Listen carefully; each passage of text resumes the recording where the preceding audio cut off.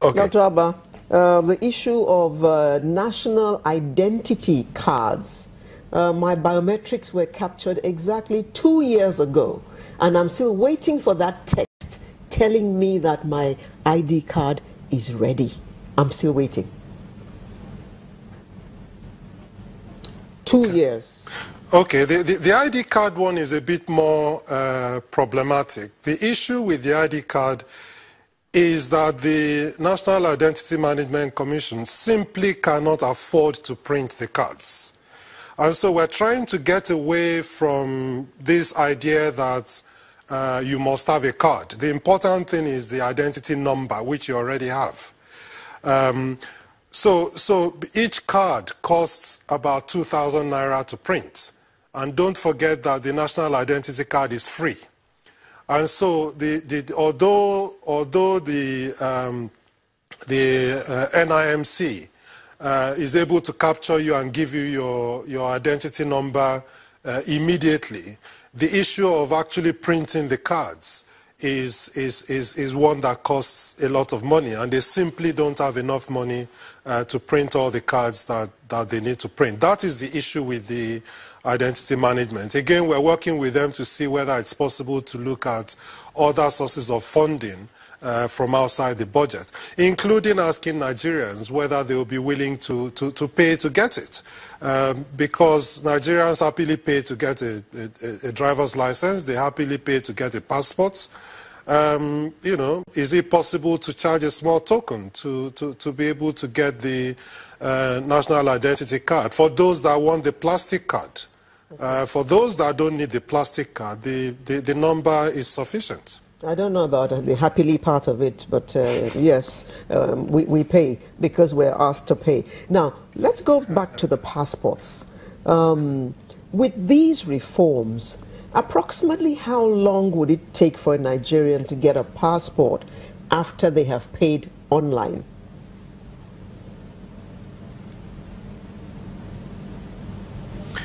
Um, I, I, believe that um, the, the, the, passport, the passport uh, service actually says 72 hours, is, is what it says. Um, I've, seen the, I've seen a service standard somewhere that said uh, seven days. But again, there's a, there's a, there's a, a difficulty here because, um, eh, like I said, a 32 page passport is 15,000 naira and a 64 page passport is 20,000 naira. Now, um, 18 months, two years ago, your 15,000 naira was worth about $100. Now your 15,000 naira is worth only about $30. And so you're having to, to, to cope with uh, production costs against, uh, against the fee that, that, that, you charge. Of course, uh, Nigerians would, would, would want to pay what is, a, what is a fair price, and that's why government must think very carefully before talking about any, any increases in, in prices. So we're, we're, we're, pleased that the, the Naira is strengthening uh, every day now, and we hope that that would make it easier uh, to, to, to, to uh, procure uh, whatever we need to procure internationally to, to make the passports booklets more readily available. That, that is the issue with the passports. There's a delay, but we're, we're working on that. Before I leave that issue, uh, these are all government agencies. Uh, is there any plan to rationalize or harmonize so that we don't have to go and give our biometrics to road safety, then to the passport office, then to I mean, everybody is taking your the color of your eye and your fingerprint, you know, at every, at every turn. This they, can't these all just go into one database so that once they have your fingerprint, they can access it without collecting it every time?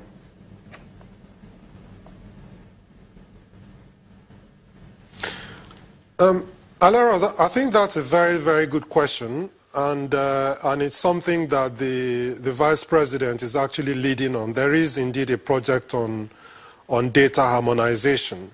Um, it doesn't mean that it doesn't mean that uh, details, detailed information will still not be held in, in relevant agencies, but to make it easier to aggregate the data we have so that we're not, we're not duplicating efforts. And I gave you the example of how we're now beginning to link uh, the bank verification number to the payroll system. Uh, we, will, we will similarly be linking the, the, the, the, national identity card system to that system. So it's, it's, building, it's building gradually where you know, we have a central database of key information uh, about people. Um, um, so that you know, like you said, you don't you don't need to you don't need to go through a capturing system over and over again. That is what countries like the U.S. do with the social security number. That's what countries like the United Kingdom do with the uh, uh, national insurance number. Um, so you know, government is able to um, at least have a database that can draw information from various databases um, if not having, having one huge, gigantic database. So, yes, that work is currently on the way. Okay. Dr. Abah, you, uh, I'm sure you understand the sentiment of many Nigerians. I mean, the Bureau of Public Service Reforms was established in 2004. You, were, you haven't been there since then as the helmsman. But Nigerians are concerned that since 2004, They've heard about reforms in the public service, and it's not there. And many a question. So permit me to just read a couple of the questions that have been set in here. Festus Akimboewa says, We are not seeing transparency and accountability in our public services. We're still seeing flawed recruitment processes. Um, Abel says, Recently it was reported that there are no passport booklets unless you go to Abuja. And that says, what about the NPower volunteers? Most of them are yet to receive their stipends for three months now. And all of this is all of this is a part of the public service. So how do you expect Nigerians to believe in any word called reforms when many of them are not seeing transparency and accountability? That's what they're asking.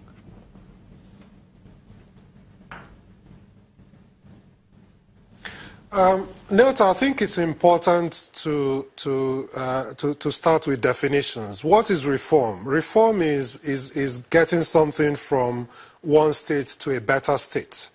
And so, and so when people ask, oh, you know, uh, how long is it going to take and when are we going to see these reforms? Reforms are continuous. Reforms are happening, they are still happening in developed countries. It doesn't matter where in the world you go. Uh, reforms are continuous and will continue to, to happen because there will continue to be problems that need to be addressed. And you've mentioned some of them problems with, uh, uh, uh you know, uh, recruitment into certain agencies. Yes, you know, that, that it would be dishonest to admit, to, to deny that one has similarly heard such uh, such allegations. And when there are things to when there are things going wrong, um, the job of the reform effort is to try and fix it. And that's why we've listened to Nigerians with regards to the issues of passports and driver's license and and identity management and tax clearance and the delays in seeing a doctor. All of these things will always be there. Um, we, we, we are unlikely to get to a situation where there is nothing to reform.